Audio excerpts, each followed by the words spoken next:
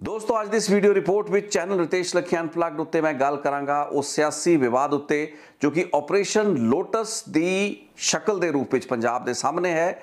ਇਸ ਚੀਜ਼ ਦਾ ਡਰ, ਇਸ ਚੀਜ਼ ਦਾ ਖਦਸ਼ਾ ਤੇ ਇਸ ਚੀਜ਼ ਦੀ ਸ਼ਿਕਾਇਤ ਆਮ ਆਦਮੀ ਪਾਰਟੀ ਦੀ ਸਰਕਾਰ ਨੇ ਕੀਤੀ ਹੈ ਕਿ ਕੇਂਦਰ ਦੇ ਵਿੱਚ ਹਾਕਮ ਭਾਰਤੀ ਜਨਤਾ ਪਾਰਟੀ ਦੇ ਇਸ਼ਾਰੇ ਉੱਤੇ ਉਸ ਦੇ ਵਿਧਾਇਕਾਂ, ਯਾਨੀ ਕਿ ਆਮ ਆਦਮੀ ਪਾਰਟੀ ਦੇ ਵਿਧਾਇਕਾਂ ਨੂੰ ਤੋੜਨ ਦੀ, ਦਲ ਬਦਲਣ ਦੀ ਤੇ ਬੀਜੇਪੀ ਵਿੱਚ ਸ਼ਾਮਲ ਹੋਣ ਦੀ ਪੇਸ਼ਕਸ਼ ਕੀਤੀ ਜਾ ਰਹੀ ਹੈ। ਪੈਸਾ ਕਰੋੜਾਂ ਕਰੋੜਾਂ ਰੁਪਇਆ ਉਹਨਾਂ ਨੂੰ ਦਿੱਤੇ ਜਾਣ ਦੀਆਂ ਆਫਰਸ ਦਿੱਤੀਆਂ ਗਈਆਂ ਨੇ। ਅਜਿਹੇ ਤਕਰੀਬਨ 11 ਵਿਧਾਇਕਾਂ ਦਾ ਨਾਂ ਵੀ ਇੱਕ ਅਜਿਹੀ ਸ਼ਿਕਾਇਤ ਵਿੱਚ ਜੋ ਕਿ ਪੰਜਾਬ ਦੇ ਡੀਜੀਪੀ ਨੂੰ ਆਮ ਆਦਮੀ ਪਾਰਟੀ ਦੇ ਵੱਲੋਂ ਦਿੱਤੀ ਗਈ ਹੈ। ਉਸ ਵਿੱਚ ਜ਼ਿਕਰ ਕੀਤਾ ਗਿਆ ਹੈ। ਪਹਿਲਾਂ ਆਮ ਆਦਮੀ ਪਾਰਟੀ ਨੇ ਕਿਹਾ ਸੀ ਕਿ 55 ਉਹਨਾਂ ਦੇ ਵਿਧਾਇਕਾਂ ਨੂੰ ਖਰੀਦਣ ਲਈ ਬੀਜੇਪੀ ਦੇ ਵਿੱਚ ਸ਼ਾਮਲ ਕਰਾਉਣ ਲਈ ਤਕਰੀਬਨ ਪੌਣੇ 1400 ਕਰੋੜ ਰੁਪਏ ਦੀ ਕਾਲੀ ਜਿਹੜੀ ਕਮਾਈ ਹੈ ਜਾਂ ਕਾਲੀ ਜਿਹੜਾ ਧਨ ਹੈ ਉਸ ਨੂੰ ਅਰੇਂਜ ਕਰਕੇ ਬੀਜੇਪੀ ਦੀ ਲੀਡਰਸ਼ਿਪ ਆਮ ਆਦਮੀ ਪਾਰਟੀ ਦੇ ਐਮਐਲਏਜ਼ ਦੀ ਖਰੀਦੋ ਫਰੋਖਤ ਦੇ ਵਿੱਚ ਇਨਵੋਲਡ ਹੈ। ਲੇਕਿਨ ਬਾਅਦ ਦੇ ਵਿੱਚ ਜਿਹੜੀ ਸ਼ਿਕਾਇਤ ਦਿੱਤੀ ਗਈ ਹੈ, ਜਿਸ ਉੱਤੇ ਇੱਕ ਐਫ ਆਈ ਆਰ ਦਰਜ ਕਰ ਲਈ ਗਈ ਹੈ, ਪੰਜਾਬ ਦੇ ਮੋਹਾਲੀ ਦੇ ਵਿੱਚ ਇਹ ਐਫ ਆਈ ਆਰ ਦਰਜ ਕੀਤੀ ਗਈ ਹੈ ਤੇ ਇਹ ਐਫ ਆਈ ਆਰ ਦੀ ਪੜਤਾਲ ਪੰਜਾਬ ਦਾ ਵਿਜੀਲੈਂਸ ਬਿਊਰੋ ਕਰੇਗਾ। ਆਪਾਂ ਇਹ ਮੰਨ ਕੇ ਚੱਲੀਏ ਕਿ ਦੇਸ਼ ਦੇ ਵਿੱਚ, ਯਾਨੀ ਕਿ ਭਾਰਤ ਦੇ ਵਿੱਚ ਇਹ ਸ਼ਾਇਦ ਪਹਿਲਾ ਅਜਿਹਾ ਕੇਸ ਹੋਏਗਾ, ਜਿਸ ਵਿੱਚ ਇੱਕ ਸੂਬਾ ਸਰਕਾਰ ਨੇ ਕੇਂਦਰ ਸਰਕਾਰ, ਜਿਹੜੀ ਪਾਰਟੀ ਦੀ ਉਹ ਕੇਂਦਰ ਸਰਕਾਰ ਹੈ, ਯਾਨੀ ਕਿ ਸੱਤਾਧਾਰੀ ਧਿਰ ਦੇ ਲੀਡਰਾਂ ਦੇ ਖਿਲਾਫ ਹੀ ਇੱਕ ਐਫ ਆਈ ਆਰ ਦਰਜ ਕਰਾਤੀ ਹੈ। ਹਾਲਾਂਕਿ ਇਹ ਐਫ ਆਈ ਆਰ ਅਨਨੋਨ ਲੋਕਾਂ ਦੇ ਖਿਲਾਫ ਹੈ। ਆਮ ਆਦਮੀ ਪਾਰਟੀ ਦਾ ਦਾਵਾ ਇਹ ਵੀ ਹੈ ਕਿ ਉਹਨਾਂ ਨੇ ਆਪਣੀ ਇਸ ਸ਼ਿਕਾਇਤ ਦੇ ਨਾਲ-ਨਾਲ ਕਈ ਅਜਿਹੀਆਂ ਆਡੀਓ ਰਿਕਾਰਡਿੰਗਸ ਦਿੱਤੀਆਂ ਨੇ, ਜੋ ਕਿ ਟੈਲੀਫੋਨਸ ਦੀਆਂ ਰਿਕਾਰਡਿੰਗਸ ਨੇ, ਜਿਸ ਵਿੱਚ ਕੁਝ ਅਜਿਹੇ ਲੋਕਾਂ ਦੀ ਗੱਲਬਾਤ ਹੈ, ਜੋ ਕਿ ਆਮ ਆਦਮੀ ਪਾਰਟੀ ਦੇ ਵਿਧਾਇਕਾਂ ਦੇ ਨਾਲ ਸੌਦੇਬਾਜ਼ੀ ਕਰ ਰਹੇ ਹੈਗੇ ਨੇ। ਸੋ ਕਿਉਂਕਿ ਪਬਲਿਕ ਸਰਵੈਂਟ ਇੱਕ ਵਿਧਾਇਕ ਨੂੰ ਰਿਸ਼ਵਤ ਦੇਣ ਦਾ ਕੇਸ ਜਿਹੜਾ ਹੈ ਉਹ ਵਿਜੀਲੈਂਸ ਬਿਊਰੋ ਨੇ ਹੀ ਹੈਂਡਲ ਕਰਨਾ ਹੁੰਦਾ ਹੈ। ਸੋ ਇੱਕ ਐਫ ਆਈ ਆਰ ਇਸ ਕੇਸ ਦੇ ਵਿੱਚ ਦਰਜ ਕਰ ਲਈ ਗਈ ਹੈ। ਹਾਲਾਂਕਿ ਐਫ ਆਈ ਆਰ ਦੇ ਐਗਜ਼ੈਕਟ ਜਿਹੜੇ ਕੰਟੈਂਟਸ ਨੇ, ਉਹ ਪਬਲਿਕ ਡੋਮੇਨ ਦੇ ਵਿੱਚ ਸਾਹਮਣੇ ਨਹੀਂ ਆਏ ਨੇ।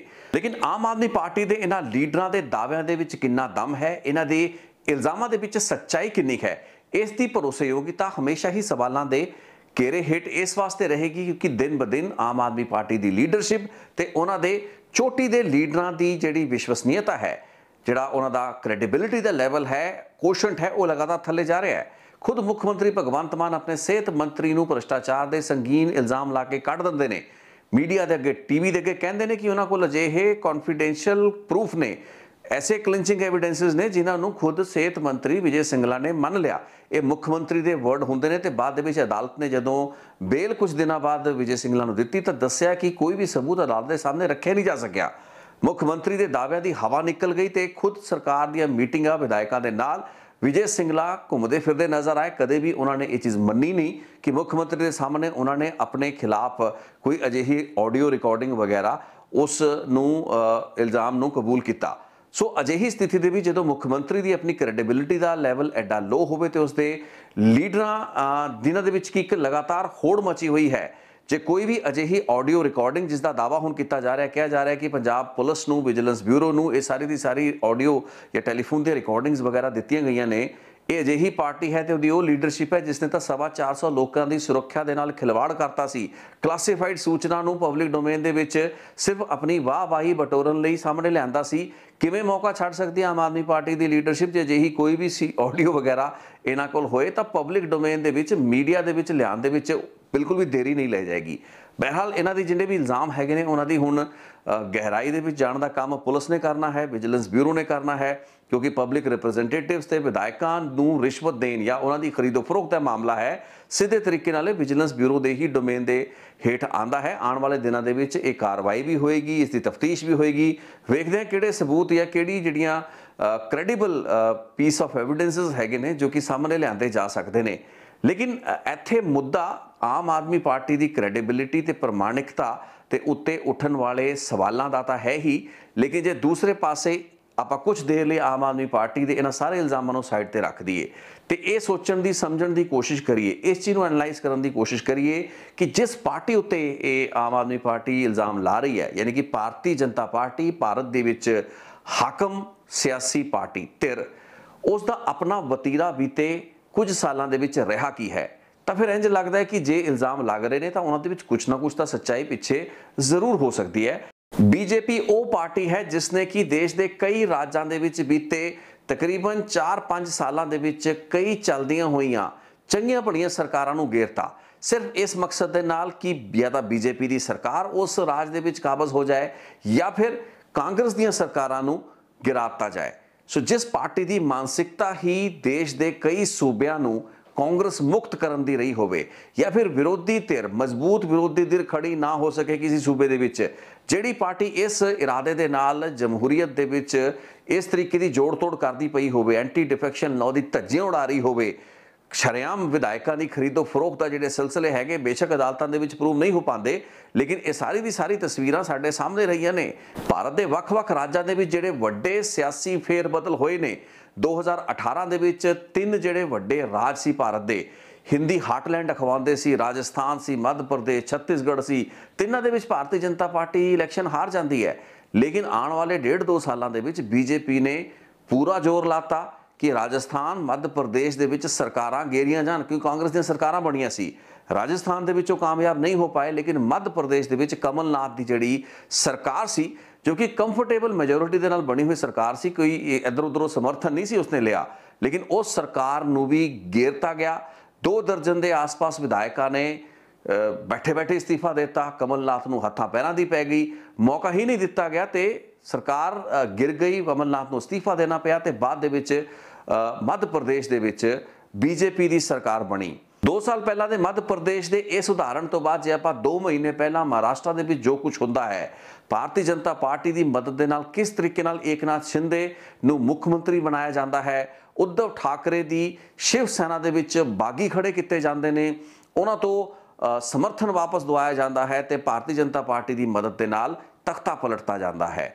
ਗਠਬੰਧਨ ਦੀ ਸਰਕਾਰ ਤੋੜ ਕੇ ਬੀਜੇਪੀ ਸਮਰਥਿਤ ਏਕਨਾਥ ਸ਼ਿੰਦੇ ਦੀ ਨਵੀਂ ਧਿਰ ਦੀ ਸਰਕਾਰ ਮਹਾਰਾਸ਼ਟਰ ਦੇ ਵਿੱਚ ਸਿਰਫ ਇਸ ਨੀਅਤ ਦੇ ਨਾਲ ਬਣਾਤੀ ਜਾਂਦੀ ਹੈ ਕਿ ਆਪਣੀ ਸਰਕਾਰ ਤੇ ਆਪਣਾ ਕਬਜ਼ਾ ਇਹਨਾਂ ਰਾਜਾਂ ਦੇ ਉੱਤੇ ਰਹੇ।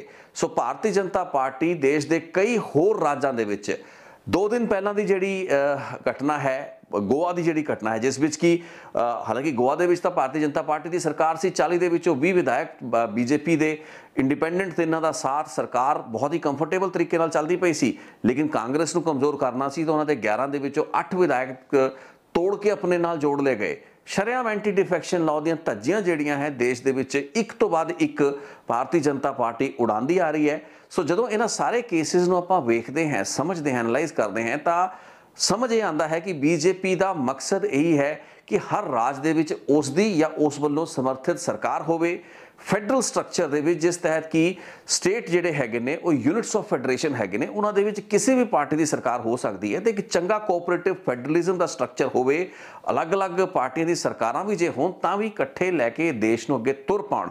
ਉਸ ਮਾਡਲ ਦੇ ਵਿੱਚ ਬੀਜੇਪੀ ਦਾ ਵਿਸ਼ਵਾਸ ਹੀ ਨਹੀਂ ਹੈ। 2014 ਵਿੱਚ ਨਰਿੰਦਰ ਮੋਦੀ ਦੀ ਸਰਕਾਰ ਬਣਦਿਆਂ ਹੀ ਕਾਂਗਰਸ ਮੁਕਤ ਭਾਰਤ ਦਾ ਨਾਰਾ ਜਿਹੜਾ ਸੀ ਦਿੱਤਾ ਗਿਆ ਸੀ, ਜੋ ਕਿ ਦੇਸ਼ ਦੀ ਡੈਮੋਕ੍ਰੇਸੀ ਲਈ, ਸਾਡੀ ਜਮਹੂਰੀਅਤ ਲਈ ਇੱਕ ਬਹੁਤ ਹੀ ਮੰਦਭਾਗਾ ਨਾਰਾ ਸੀ, ਇੱਕ ਬਹੁਤ ਹੀ ਮਾੜਾ ਟ੍ਰੈਂਡ ਸੀ।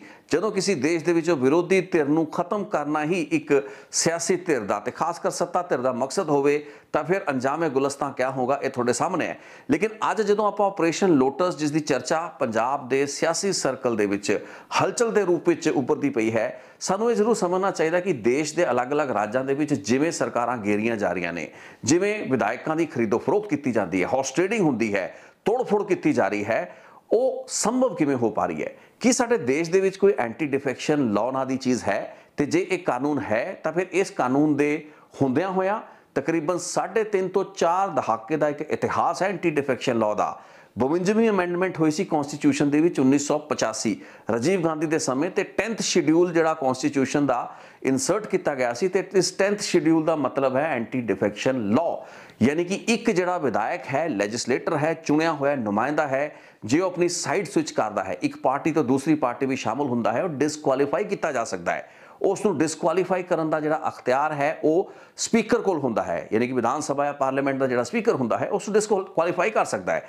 ਇੱਕ ਕੋਇਸਾਈਡ ਜੁਡੀਸ਼ੀਅਲ ਅਦਾਲਤ ਦੇ ਰੂਪ ਵਿੱਚ ਸਪੀਕਰ ਦੀਆਂ ਸਾਰੀਆਂ ਤਾਕਤਾਂ ਹੈਗੀਆਂ ਨੇ ਕਿ ਇਸ ਤਰੀਕੇ ਦੇ ਦਲ ਬਦਲ ਦਾ ਜਿਹੜਾ ਸਿਆਸੀ ਕਲਚਰ ਹੈ, ਜੋ ਕਿ 80s ਦੇ ਵਿੱਚ, ਮਿਡ 80s ਤੱਕ ਭਾਰਤ ਦੇ ਕਈ ਰਾਜਾਂ ਦੇ ਵਿੱਚ ਸਿਆਸੀ ਅਸਥਿਰਤਾ ਪੋਲਿਟੀਕਲ ਇਨਸਟੇਬਿਲਿਟੀ ਨੂੰ ਲਗਾਤਾਰ ਜਨਮ ਦੇ ਰਿਹਾ ਸੀ, ਉਸ ਟ੍ਰੈਂਡ ਨੂੰ ਰੋਕਿਆ ਜਾਂਦਾ। ਤਾਂ ਹੀ ਕਰਕੇ 10th ਸ਼ਡਿਊਲ ਇੰਟਰੋਡਿਊਸ ਕਰਾਇਆ ਗਿਆ ਐਂਟੀ ਡਿਫੈਕਸ਼ਨ ਕਾਨੂੰਨ ਲਿਆਂਦਾ ਗਿਆ।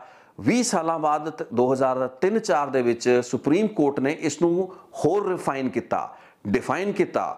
ਜਿਹੜੇ ਵੀ ਕੇਸ ਉਹਨਾਂ ਕੋਲ ਆਂਦੇ ਸੀ, ਉਹਨਾਂ ਤਹਿਤ ਸੁਪਰੀਮ ਕੋਰਟ ਨੇ ਇਸ ਕਾਨੂੰਨ ਨੂੰ ਠੋਕ ਵਜਾ ਕੇ ਇਸ ਦੀ ਇਸ ਦੀ, ਇਸ ਦਾ ਜਿਹੜਾ ਸਰੂਪ ਸੀ ਉਸ ਨੂੰ ਨਿਖਾਰ ਕੇ ਸਾਹਮਣੇ ਲਿਆਂਦਾ। ਭਾਰਤ ਦਾ ਐਂਟੀ ਡਿਫੈਕਸ਼ਨ ਲਾਅ ਇੱਕ ਅਜਿਹਾ ਕਾਨੂੰਨ ਹੈ ਜੋ ਕਿ ਆਪਣੀ ਡਿਫਾਈਂਸ ਦੇ ਵਿੱਚ, ਆਪਣੀ ਜਿਹੜੀ ਇਨਫ੍ਰਿੰਜਮੈਂਟ ਦੇ ਵਿੱਚ ਜ਼ਿਆਦਾ ਆਬਜ਼ਰਵ ਕੀਤਾ ਜਾਂਦਾ ਹੈ। ਖਾਸ ਕਰਕੇ ਉਹਨਾਂ ਸਥਿਤੀਆਂ ਦੇ ਵਿੱਚ ਜਦੋਂ ਕਿ ਇੱਕ ਫ੍ਰੈਜਾਈਲ ਮੈਂਡੇਟ ਕਿਸੇ ਰਾਜ ਦੇ ਵਿੱਚ ਆਇਆ ਹੋਵੇ, ਕੇਂਦਰ ਦੀ ਹਾਕਮ ਤੇ ਚਾਰੀ ਹੋਵੇ ਪੋਲੀਟੀਕਲ ਇਨਸਟੇਬਿਲਿਟੀ ਉਸ ਰਾਜ ਦੇ ਵਿੱਚ ਲਿਆਣਾ ਜਾਂ ਫਿਰ ਆਪਣੀਆਂ ਸਰਕਾਰਾਂ ਬਣਾਉਣਾ ਉਹਨਾਂ ਹਾਲਾਤਾਂ ਦੇ ਵਿੱਚ ਐਂਟੀ ਡਿਫੈਕਸ਼ਨ ਲਾਅ ਦੀਆਂ ਧੱਜੀਆਂ ਉੱਡਦੀਆਂ ਹੋਈਆਂ ਆਪਾਂ ਦੇਸ਼ ਵਿੱਚ ਵੇਖਿਆ ਨੇ। ਲੇਕਿਨ ਸਭ ਤੋਂ ਜਿਹੜੀ ਵੱਡੀ ਕਮੀ ਹੈ, ਦੇਖੋ ਪੰਜਾਬ ਦੇ ਵਿੱਚ ਹੋਵੇ ਜਾਂ ਕਿਸੇ ਹੋਰ ਸੂਬੇ ਦੇ ਵਿੱਚ, ਇਹ ਨੌਬਤ ਹੀ ਕਿਉਂ ਆਉਂਦੀ ਹੈ ਕਿ ਵਿਧਾਇਕਾਂ ਜਾਂ ਚੁਣੇ ਹੋਏ ਨੁਮਾਇੰਦਿਆਂ ਨੂੰ ਖਰੀਦੋ ਫਰੋਖਤ ਕਰਨ ਦਾ ਜ਼ਿਕਰ ਵੀ ਹੋਵੇ। ਜਦੋਂ ਕਿ ਦੇਸ਼ ਦੇ ਵਿੱਚ ਸੁਪਰੀਮ ਕੋਰਟ ਨੇ ਵੀ ਚੀਜ਼ ਨੂੰ ਸਪਸ਼ਟ ਕਰਤਾ ਹੈ। ਹੁਣ ਇੱਥੇ ਮੈਂ ਇਹ ਚੀਜ਼ ਤੁਹਾਨੂੰ ਕਲੀਅਰ ਕਰਾਂ, ਮੇਰੇ ਜਿਹੜੇ ਸਬਸਕ੍ਰਾਈਬਰ ਵਿਊਅਰਸ ਹੈਗੇ ਨੇ, ਉਹਨਾਂ ਦੇ ਮਨਾਂ ਦੇ ਵਿੱਚ ਇਹ ਚੀਜ਼ ਸਵਾਲ ਹਮੇਸ਼ਾ ਰਹਿੰਦਾ ਹੈ। ਇੱਕ ਸੰਸਾ ਵੀ ਰਹਿੰਦਾ ਹੈ ਕਿ ਜੀ ਕਿੰਨੇ ਵਿਧਾਇਕ ਹੈਗੇ ਨੇ, ਕਿੰਨੇ ਚੁਣੇ ਹੋਏ ਨੁਮਾਇੰਦੇ ਨੇ ਜੋ ਕਿ ਸਾਈਡ ਸਵਿਚ ਕਰ ਸਕਦੇ ਨੇ। ਇੱਕ ਪਾਰਟੀ ਤੋਂ ਦੂਸਰੀ ਪਾਰਟੀ ਵੀ ਸ਼ਾਮਲ ਹੋ ਸਕਦੇ ਨੇ, ਦੋ ਤਿਹਾਈ ਹੋ ਸਕਦੇ ਨੇ, ਤਿੰਨ ਚੌਥਾਈ ਹੋ ਸਕਦੇ ਨੇ। ਸੋ ਇੱਥੇ ਮੈਂ ਤੁਹਾਨੂੰ ਕਲੀਅਰ ਕਰ ਦੇਣਾ ਚਾਹੁੰਦਾ ਹਾਂ ਕਿ ਕਿਸੇ ਵੀ ਪਾਰਟੀ ਨੂੰ ਛੱਡ ਕੇ ਕੋਈ ਵੀ ਵਿਧਾਇਕ ਲੈਜਿਸਲੇਟਰ ਦੂਸਰੀ ਪਾਰਟੀ ਵਿੱਚ ਸ਼ਾਮਲ ਨਹੀਂ ਹੋ ਸਕਦਾ। ਇਹ ਦੇਸ਼ ਦਾ ਐਂਟੀ ਡਿਫੈਕਸ਼ਨ ਲਾਅ ਹੈ, ਲੇਕਿਨ ਇਸ ਦੇ ਬਾਵਜੂਦ ਇਹ ਸਭ ਕੁਝ ਹੋ ਰਿਹਾ ਹੈ।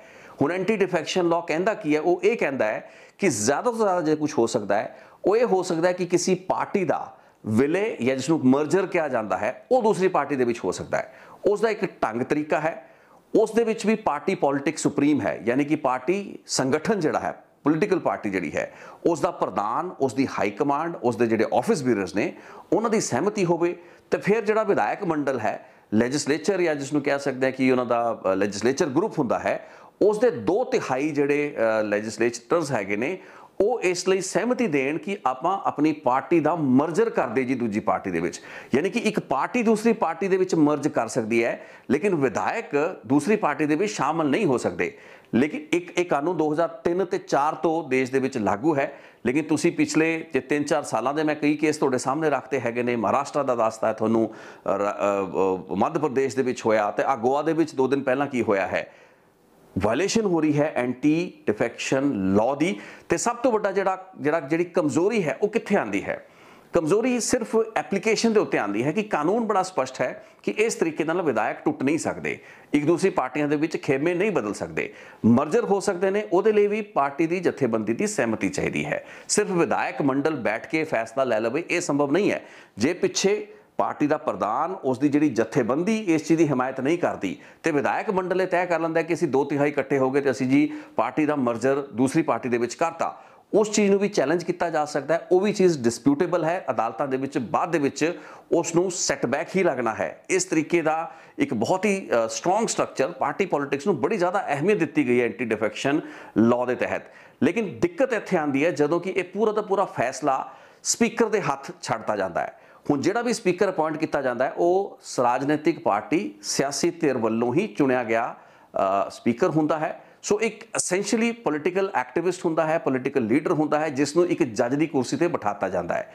ਜਦੋਂ ਕੋਈ ਵਿਧਾਇਕ ਜਾਂ ਲੈਜਿਸਲੇਟਰ ਆਪਣਾ ਖੇਮਾ ਬਦਲਦਾ ਆਪਣੀ ਪਾਰਟੀ ਬਦਲਦਾ ਹੈ, ਉਸ ਲੈਜਿਸਲੇਟਰ ਨੂੰ ਡਿਸਕੁਆਲੀਫਾਈ ਕਰਨ ਲਈ ਨੋਟਿਸ ਦੇ ਕੇ ਇੱਕ ਪ੍ਰੋਸੈਸ ਦੇ ਤਹਿਤ ਉਸ ਨੂੰ ਸਸਪੈਂਡ ਕਰਨਾ ਹੁੰਦਾ ਹੈ, ਬਾਅਦ ਦੇ ਵਿੱਚ ਉਸ ਨੂੰ ਡਿਸਕੁਆਲੀਫਾਈ ਕਰਨਾ ਹੁੰਦਾ ਹੈ। ਇਸ ਦਾ ਇੱਕ ਪ੍ਰੋਪਰ ਪ੍ਰੋਸੀਜਰ ਹੈ। ਲੇਕਿਨ ਇਸ ਡਿਸਕੁਆਲੀਫਿਕੇਸ਼ਨ ਦੇ ਉੱਤੇ ਫੈਸਲਾ ਸਪੀਕਰ ਨੇ ਕਿੰਨੇ ਸਮੇਂ ਦੇ ਵਿੱਚ ਲੈਣਾ ਹੈ? ਉਸ ਦੀ ਮਿਆਦ ਕੀ ਹੈ? ਇਸ ਉੱਤੇ ਕੋਈ ਵੀ ਫੈਸਲਾ ਕਲੀਅਰ ਨਹੀਂ ਹੈ। ਹਾਲਾਂਕਿ ਸੁਪਰੀਮ ਕੋਰਟ ਨੇ ਆਪਣੇ ਅਲੱਗ-ਅਲੱਗ ਜਜਮੈਂਟਸ ਵਿੱਚ ਕਿਹਾ ਹੈ ਕਿ ਸਪੀਕਰ ਸਮੇਂ ਰਹਿੰਦਿਆਂ ਹੀ ਛੇਤੀ ਤੋਂ ਛੇਤੀ ਆਪਣੇ ਫੈਸਲੇ ਸੁਣਾਉਣ। ਕਿਉਂਕਿ ਜਦ ਤੱਕ ਸਪੀਕਰ ਆਪਣਾ ਫੈਸਲਾ ਨਹੀਂ ਸੁਣਾਏਗਾ, ਤਦ ਤੱਕ ਉਸ ਫੈਸਲੇ ਨੂੰ ਹਾਈ ਕੋਰਟ ਜਾਂ ਸੁਪਰੀਮ ਕੋਰਟ ਦੇ ਵਿੱਚ ਵੀ ਚੁਣੌਤੀ ਨਹੀਂ ਦਿੱਤੀ ਜਾ ਸਕਦੀ। ਸੋ ਹੁੰਦਾ ਕੀ ਹੈ? ਹੁੰਦਾ ਇਹ ਹੈ ਕਿ ਜਦੋਂ ਵੀ ਇਸ ਤਰੀਕੇ ਦੀ ਡਿਸਕੁਆਲੀਫਿਕੇਸ਼ਨ ਦੀ, ਦਾ ਕਾਜ਼ ਬਣਦਾ ਹੈ, ਯਾਨੀ ਕਿ ਕਿਸੇ ਵੀ ਮੈਂਬਰ ਨੇ ਆਪਣੀ ਪਾਰਟੀ ਬਦਲ ਲਈ, ਵਿਧਾਇਕ ਨੇ ਆਪਣੀ ਪਾਰਟੀ ਖੇਮਾ ਬਦਲ ਲਿਆ ਉਸ ਵਕਤ ਸਪੀਕਰ ਆਪਣੀ ਜਿਹੜੀ ਸਿਆਸੀ ਪਾਰਟੀ ਤੋਂ ਕਮਾਂਡ ਲੈ ਕੇ, ਇਸ਼ਾਰਾ ਲੈ ਕੇ ਹੀ ਕੋਈ ਫੈਸਲਾ ਸੁਣਾਏਗਾ ਤੇ ਅਕਸਰ ਬਹੁਤ ਸੇ ਅਜਿਹੇ ਕੇਸਿਸ ਰਹੇ ਨੇ ਜਿਨ੍ਹਾਂ ਤਹਿਤ ਕਿ ਸਪੀਕਰ ਅਜਿਹੇ ਫੈਸਲਿਆਂ ਨੂੰ ਲੈਣ ਤੋਂ ਗੁਰੇਜ਼ ਕਰਦੇ ਨੇ ਤੇ ਕਈ ਕਈ ਸਾਲ ਲਟਕਾ ਕੇ ਰੱਖਦੇ ਨੇ। 4 4 5 5 7 7 ਸਾਲ ਫੈਸਲਾ ਹੀ ਨਹੀਂ ਸੁਣਾਇਆ ਜਾਂਦਾ ਕਿਸੇ ਵਿਧਾਇਕ ਦੀ ਡਿਸਕੁਆਲੀਫਿਕੇਸ਼ਨ ਦੇ ਉੱਤੇ। ਨਤੀਜਾ ਕੀ ਹੁੰਦਾ ਹੈ? ਨਤੀਜਾ ਇਹ ਹੁੰਦਾ ਹੈ ਕਿ ਇੰਨੀ ਦੇਰ ਦੇ ਇੰਨੀ ਦੇਰ ਤੱਕ ਸਰਕਾਰ ਦੀ ਟਰਮ ਖਤਮ ਹੋ ਚੁੱਕੀ ਹੁੰਦੀ ਹੈ, ਉਹਦਾ ਟੈਨਿਓਰ ਖਤਮ ਹੋ ਚੁੱਕਾ ਹੁੰਦਾ ਹੈ। ਪੂਰਾ ਦਾ ਪੂਰਾ ਜਿਹੜਾ ਪਰਪਸ ਹੈ ਐਂਟੀ ਡਿਫੈਕਸ਼ਨ ਲਾਅ ਦਾ, ਉਹ ਡਿਫੀਟ ਹੋ ਚੁੱਕਾ ਹੁੰਦਾ ਹੈ। ਹੁਣ ਇਸ ਪੁਆਇੰਟ ਨੂੰ ਸਮਝਾਉਣ ਲਈ ਮੈਂ ਤੁਹਾਨੂੰ ਦੋ ਐਗਜ਼ਾਮਪਲ ਦਾਂਗਾ। ਪਹਿਲਾ ਐਗਜ਼ਾਮਪਲ ਹਰਿਆਣਾ ਦਾ ਹੈ, ਜਿੱਥੇ 2009 ਦੇ ਵਿੱਚ ਕਾਂਗਰਸ ਦੀ ਭੁਪਿੰਦਰ ਸਿੰਘ ਹੁੱਡਾ ਦੀ ਸਰਕਾਰ ਰਿਪੀਟ ਕਰਦੀ ਹੈ। ਭੁਪਿੰਦਰ ਸਿੰਘ ਹੁੱਡਾ ਕੋਲ ਮੈਜੋਰਿਟੀ ਬਿਲਕੁਲ ਇੱਕ ਬਾਰਡਰ ਲਾਈਨ ਦੇ ਉੱਤੇ ਹੁੰਦੀ ਹੈ। ਸੋ ਉਹਨਾਂ ਵੱਲੋਂ ਹਰਿਆਣਾ ਜਨਹਿਤ ਕਾਂਗਰਸ, ਯਾਨੀ ਕਿ ਭਜਨ ਲਾਲ ਦੀ ਅਲੱਗ ਜਿਹੜੀ ਪਾਰਟੀ ਬਣੀ ਸੀ, ਕਾਂਗਰਸ ਤੋਂ ਟੁੱਟ ਕੇ ਵਿਧਾਇਕ ਉੱਥੇ ਗਏ ਸੀ। ਉਹਨਾਂ ਦੇ ਪੰਜ ਵਿਧਾਇਕਾਂ ਨੂੰ ਆਪਣੇ ਨਾਲ ਰਲਾ ਲਿਆ ਜਾਂਦਾ ਹੈ। ਐਂਟੀ ਡਿਫੈਕਸ਼ਨ ਲਾਅ ਦੀ ਉਲੰਘਣਾ ਕਰਕੇ ਕੁਲਦੀਪ ਬਿਸ਼ਨੋਈ ਇਕੱਲੇ ਜਿਹੜੇ ਪ੍ਰਧਾਨ ਹੁੰਦੇ ਨੇ ਹਰਿਆਣਾ ਜਨਹਿਤ ਕਾਂਗਰਸ ਦੇ, ਉਹੀ ਦੂਸਰੇ ਪਾਸੇ ਬਚਦੇ ਨੇ। 6 ਦੇ ਵਿੱਚੋਂ 5 ਜਿਹੜੇ ਵਿਧਾਇਕ ਹੈਗੇ ਨੇ, ਉਹ ਕਾਂਗਰਸ ਦੇ ਵਿੱਚ ਸ਼ਾਮਲ ਹੋ ਜਾਂਦੇ ਨੇ ਤੇ ਇਸ ਮਾਮਲੇ ਨੂੰ ਕੁਲਦੀਪ ਬਿਸ਼ਨੋਈ ਚੁਣੌਤੀ ਦਿੰਦੇ ਨੇ। ਲੇਕਿਨ ਜਿਹੜਾ ਸਪੀਕਰ ਹੁੰਦਾ ਹੈ, ਉਹ ਕਾਂਗਰਸ ਦਾ ਹੁੰਦਾ ਹੈ। ਸੋ ਸਪੀਕਰ ਇਸ ਕੇਸ ਨੂੰ ਉਸ ਪੂਰੀ ਦੀ ਪੂਰੀ ਟਰਮ 2009 ਤੋਂ ਲੈ ਕੇ 2014 ਤੱਕ, ਉਸ ਸਮੇਂ ਤੱਕ ਉਸਨੇ ਉਸ ਉੱਤੇ ਫੈਸਲਾ ਹੀ ਨਹੀਂ ਸੁਣਾਇਆ। ਤੇ ਜਦੋਂ ਫੈਸਲਾ ਸੁਣਾਇਆ ਗਿਆ, ਉਸ ਦੇ ਵਿੱਚ ਉਹਨਾਂ ਵਿਧਾਇਕਾਂ ਦੀ ਇਸ ਦਲ ਬਦਲ ਨੂੰ ਸਹੀ ਪਾਇਆ ਗਿਆ। ਬਾਅਦ ਦੇ ਵਿੱਚ ਉਸ ਨੂੰ ਹਾਈ ਕੋਰਟ ਦੇ ਵਿੱਚ ਚੁਣੌਤੀ ਦਿੱਤੀ ਗਈ, ਜਿੱਥੇ ਕੁਲਦੀਪ ਬਿਸ਼ਨੋਈ ਦਾ ਕਾਨੂੰਨੀ ਪੱਖ ਜਿੱਤਿਆ ਤੇ ਇਹਨਾਂ ਵਿਧਾਇਕਾਂ ਦੇ ਇਸ ਖੇਮੇ ਦੀ ਬਦਲੀ ਨੂੰ ਜਾਂ ਪਾਰਟੀ ਦੀ ਬਦਲੀ ਨੂੰ ਨਜਾਇਜ਼ ਕਰਾਰ ਦਿੱਤਾ ਗਿਆ। ਲੇਕਿਨ ਉਸ ਦਾ ਫਾਇਦਾ ਕੀ ਹੋਇਆ? ਪਰਪਸ ਡਿਫੀਟ ਹੋ ਚੁੱਕਾ ਸੀ। ਸਪੀਕਰ ਨੇ ਇੱਕ ਇਨਆਰਡੀਨੇਟ ਡੀਲੇ ਕੀਤਾ। ਹੁਣ ਇਸ ਸਥਿਤੀ ਤੇ ਬਿਲਕੁਲ ਉਲਟ ਮਹਾਰਾਸ਼ਟਰ ਦੇ ਵਿੱਚ 2 ਮਹੀਨੇ ਪਹਿਲਾਂ ਕੀ ਹੁੰਦਾ ਹੈ? ਬਾਗੀ ਜਿਹੜੇ ਵਿਧਾਇਕ ਹੁੰਦੇ ਨੇ ਸ਼ਿਵ ਸੈਨਾ ਦੇ, ਉਹਨਾਂ ਨੂੰ ਸਪੀਕਰ ਵੱਲੋਂ ਨੋਟਿਸ ਦਿੱਤਾ ਜਾਂਦਾ ਹੈ। 2 ਦਿਨਾਂ ਦੇ ਵਿੱਚ ਉਹਨਾਂ ਵੱਲੋਂ ਜਵਾਬ ਦਿੱਤਾ ਜਾਣਾ ਹੁੰਦਾ ਜਿਸ ਤੋਂ ਬਾਅਦ ਉਹਨਾਂ ਦੀ ਡਿਸਕੁਆਲੀਫਿਕੇਸ਼ਨ ਦਾ ਜਿਹੜਾ ਪ੍ਰੋਸੈਸ ਹੈ ਉਸ ਨੂੰ ਅੱਗੇ ਤੋਰਨਾ ਹੁੰਦਾ ਹੈ। ਲੇਕਿਨ ਇਹ ਬਾਗੀ ਵਿਧਾਇਕ ਸੁਪਰੀਮ ਕੋਰਟ ਖੜੇ ਹੋ ਜਾਂਦੇ ਨੇ, ਜਾ ਕੇ ਸੁਪਰੀਮ ਕੋਰਟ ਵੱਲੋਂ ਰਾਹਤ ਦਿੱਤੀ ਜਾਂਦੀ ਹੈ ਤੇ ਇਹਨਾਂ ਦਾ ਜਿਹੜਾ ਨੋਟਿਸ ਪੀਰੀਅਡ ਹੈ ਉਸ ਦਾ ਜਿਹੜਾ ਸਮਾਂ ਹੈ, ਵਧਾਤਾ ਜਾਂਦਾ ਹੈ। 2 ਦਿਨ ਤੋਂ ਵਧਾ ਕੇ ਸ਼ਾਇਦ 12 ਜਾਂ 15 ਦਿਨ ਕਰਤਾ ਗਿਆ।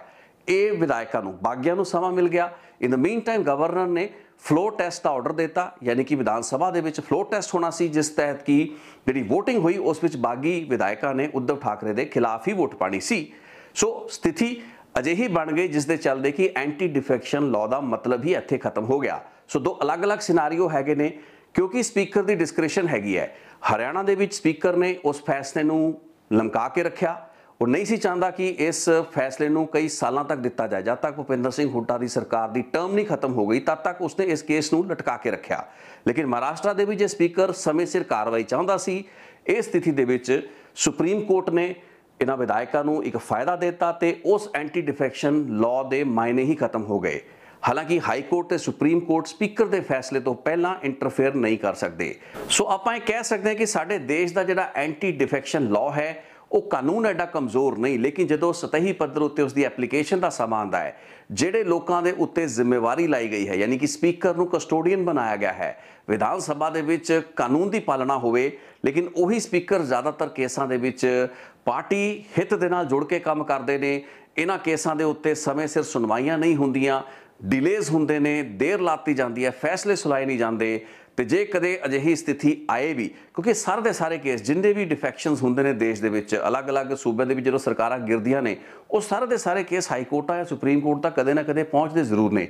ਲੇਕਿਨ ਤੁਸੀਂ ਰੇਅਰਲੀ ਹੀ ਕਦੀ ਦੇਖਿਆ ਹੋਵੇਗਾ ਹਾਈ ਕੋਰਟਾਂ ਜਾਂ ਸੁਪਰੀਮ ਕੋਰਟਾਂ ਵਿੱਚ ਫੈਸਲੇ ਹੁੰਦੇ ਨੇ, ਉਹਨਾਂ ਡਿਫੈਕਸ਼ਨਸ ਨੂੰ ਗਲਤ ਵੀ ਮੰਨਿਆ ਜਾਂਦਾ ਹੈ, ਲੇਕਿਨ ਉਹ ਫੈਸਲੇ ਬਹੁਤ ਸਾਲਾਂ ਬਾਅਦ ਹੁੰਦੇ ਨੇ। ਤਦ ਤੱਕ ਉਹਨਾਂ ਫੈਸਲਿਆਂ ਦਾ ਕੋਈ ਮਾਇਨਾ ਨਹੀਂ ਬਚਦਾ, ਕਿਉਂਕਿ ਸਰਕਾਰਾਂ ਆਪਣੀ ਟਰਮ ਹਟਾ ਚੁੱਕੀਆਂ ਹੁੰਦੀਆਂ ਨੇ ਸੋ ਕੋਈ ਜ਼ਿਆਦਾ ਮਕਸਦ ਉਸ ਦਾ ਬਚਦਾ ਨਹੀਂ। ਇਹੀ ਕਾਰਨ ਹੈ ਕਿ ਭਾਰਤੀ ਜਨਤਾ ਪਾਰਟੀ ਵਰਗੀਆਂ ਪਾਰਟੀਆਂ ਖੁੱਲ ਕੇ ਇਹਨਾਂ ਡਿਫੈਕਸ਼ਨਸ ਨੂੰ ਟ੍ਰਿਗਰ ਕਰਦੀਆਂ ਨੇ ਆਰਕੈਸਟ੍ਰੇਟ ਕਰਦੀਆਂ ਨੇ। ਇਹਨਾਂ ਦੇ ਪਿੱਛੇ ਪੂਰੀ ਦੀ ਪੂਰੀ ਜਿਹੜੀ ਵਿਉਂਤਬੰਦੀ ਹੈ, ਅਜਿਹੀਆਂ ਡਿਫੈਕਸ਼ਨਸ ਨੂੰ ਪਾਰਟੀ ਦੇ ਜਥੇਬੰਦੀ ਦਾ ਇੱਕ ਕੰਮ ਸਮਝਿਆ ਜਾਂਦਾ ਹੈ। ਵਿਰੋਧੀ ਧਿਰਾਂ ਦੀਆਂ ਸਰਕਾਰਾਂ ਸਥਿਰ ਨਾ ਹੋ ਰਹਿ ਪਾਣ ਸਟੇਬਿਲਿਟੀ ਉਹਨਾਂ ਤੇ ਨਾ ਆ ਪਾਏ ਤੇ ਜਿੱਥੇ ਵੀ ਸੰਭਵ ਹੋ ਪਾਏ ਸਰਕਾਰਾਂ ਨੂੰ ਗਿਰਵਾਤਾ ਜਾਏ ਖਾਸ ਕਰਕੇ ਉਹਨਾਂ ਰਾਜਾਂ ਦੇ ਵਿੱਚ ਜਿੱਥੇ ਕਿ ਭਾਰਤੀ ਜਨਤਾ ਪਾਰਟੀ ਸਰਕਾਰ ਬਣਾਉਣ ਦੀ ਜਾਂ ਕਿਸੇ ਹੋਰ ਧਿਰ ਦੇ ਨਾਲ ਰਲ ਕੇ ਸਰਕਾਰ ਬਣਾਉਣ ਦੀ ਪੋਜੀਸ਼ਨ ਵਿੱਚ ਹੋਏ।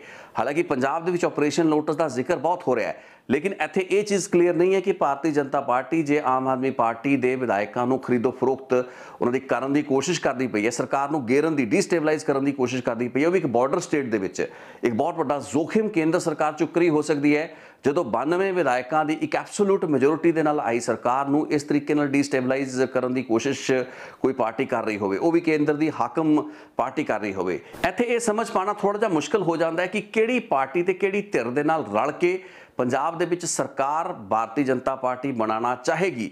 ਆਮ ਆਦਮੀ ਪਾਰਟੀ ਦੀ ਸਰਕਾਰ ਨੂੰ ਡੀਸਟੇਬਲਾਈਜ਼ ਕਰਨਾ ਇੱਕ ਪਾਰਟ ਹੋ ਸਕਦਾ ਹੈ, ਪੂਰੀ ਦੀ ਪੂਰੀ ਕਨਸਪੀਰੇਸੀ ਦਾ। ਲੇਕਿਨ ਉਸ ਦਾ ਐਂਡ ਕੀ ਹੈ?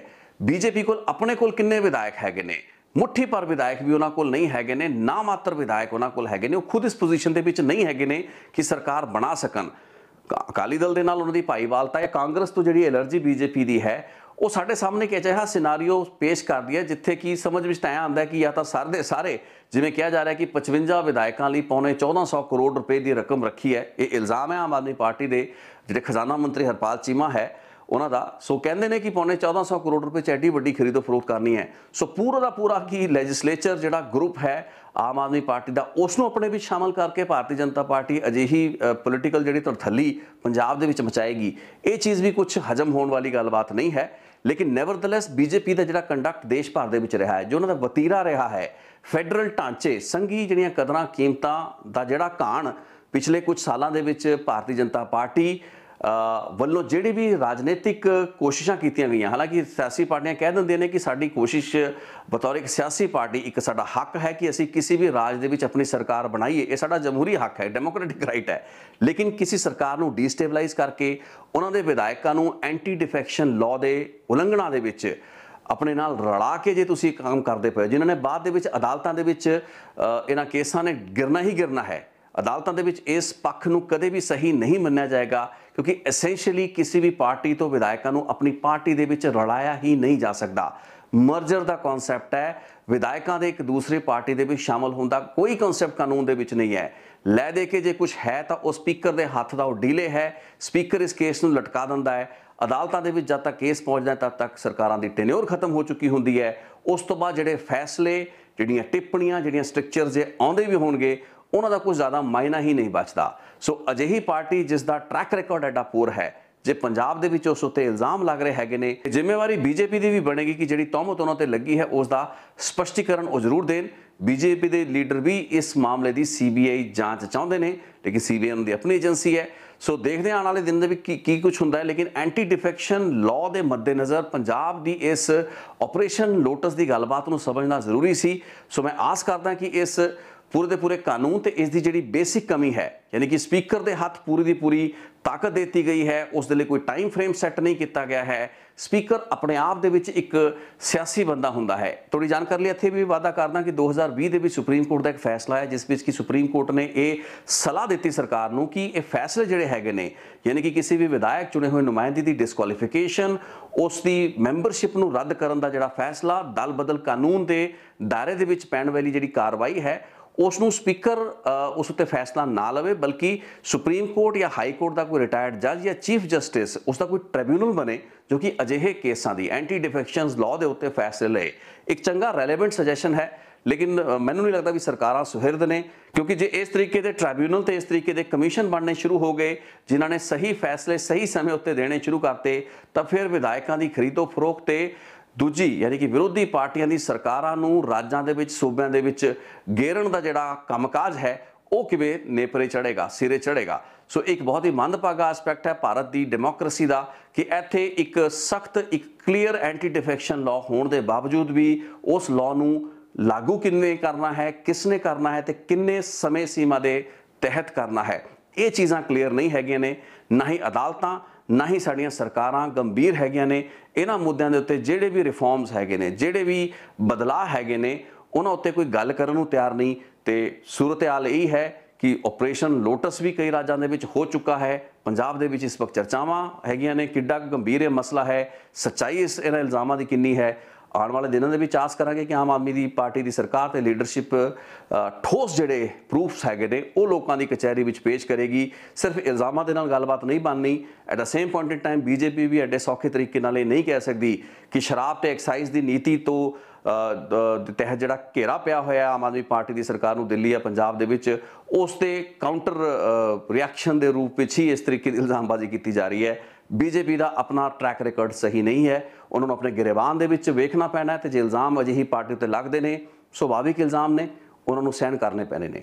ਅੱਜ ਦੀ ਗੱਲਬਾਤ ਐਨੀ ਕੀ ਸੀ? ਮੈਂ ਚਾਹੁੰਦਾ ਸੀ ਕਿ ਐਂਟੀ ਡਿਫੈਕਸ਼ਨ ਲਾਅ ਦੀ ਰੋਸ਼ਨੀ ਦੇ ਵਿੱਚ ਆਪਾਂ ਇਸ ਆਪਰੇਸ਼ਨ ਲੋਟਸ ਦੀ ਚਰਚਾ ਜਿਹੜੀ ਪੰਜਾਬ ਵਿੱਚ ਛਿੜੀ ਹੋਈ ਹੈ, ਇਸ ਉੱਤੇ ਚਰਚਾ ਕਰੀਏ। ਆਸ ਕਰਾਂਗਾ ਠੀਕ ਲੱਗੀ ਹੋਵੇਗੀ ਰਿਪੋਰਟ ਬਹੁਤ ਬਹੁਤ ਧੰਨਵਾਦ ਇਸ ਰਿਪੋਰਟ ਨੂੰ ਵੇਖਣ ਲਈ। Thank you so much